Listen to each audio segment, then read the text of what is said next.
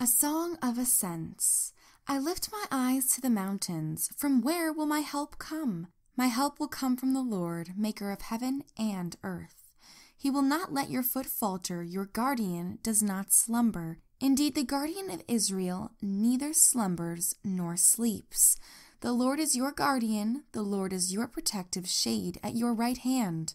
The sun will not harm you by day, nor the moon by night. The Lord will guard you from all evil. He will guard your soul. The Lord will guard your going and your coming from now and for all time. A Song of Ascents by David. I rejoiced when they said to me, Let us go to the house of the Lord. Our feet were standing within your gates, O Jerusalem.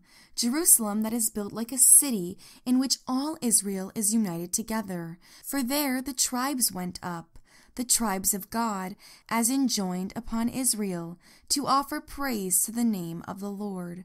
For there stood the seats of justice, the thrones of the house of David. Pray for the peace of Jerusalem. May those who love you have peace.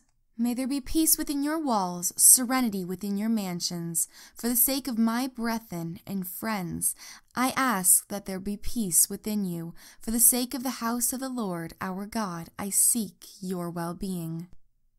A Song of Ascents. To you have I lifted my eyes, you who are enthroned in heaven.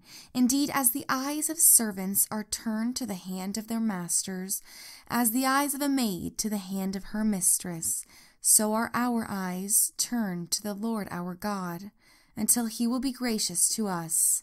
Be gracious to us, Lord, be gracious to us, for we have been surfeited with humiliation. Our soul has been overfilled with the derision of the complacent with the scorn of the arrogant.